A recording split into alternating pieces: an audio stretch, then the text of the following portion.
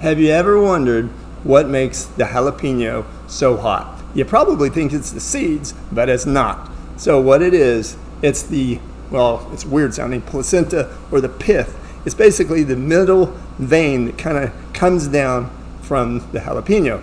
Now the seeds are hot because it absorbs that, but that's what it really is. So if you didn't know, now you have a little trivia.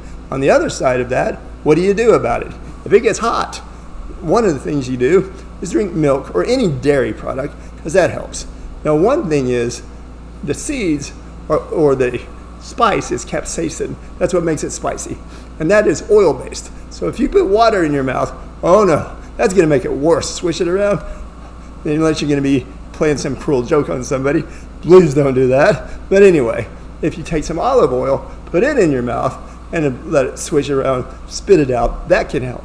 Hope that helps. See you next time.